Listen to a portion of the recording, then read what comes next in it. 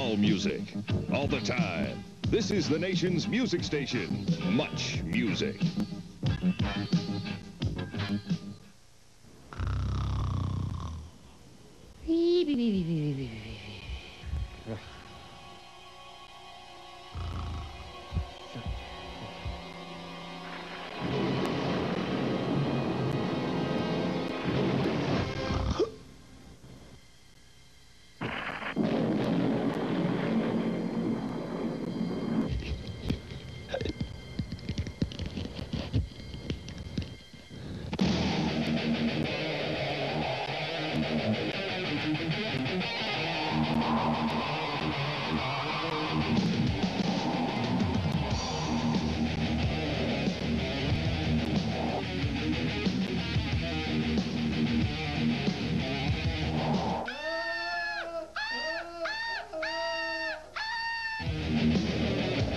My feelings of love.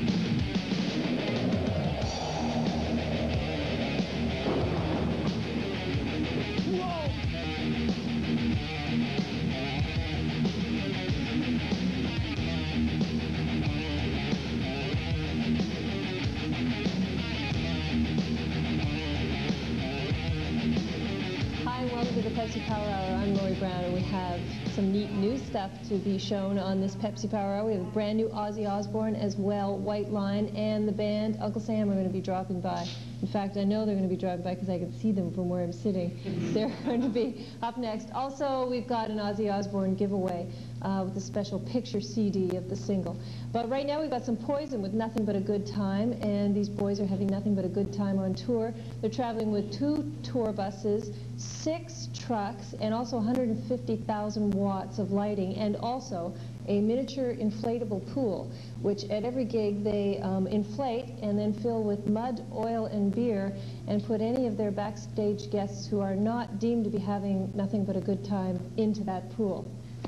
Right, they know how, to, know how to have a good time on the road. So we're going to have nothing but a good time from Poison. But first of all, Britny Fox, a band out of Philadelphia, they came around about two and a half years ago. They signed a major deal with CBS in 86. Unfortunately, right after that, their drummer, um, Tony Destra, yeah, was killed in a car accident. So they got Johnny D. You might remember him, ex of Waysted. He's on drums there now. So we've got Britny Fox up first. This is Long to Love on the Pepsi Power Hour.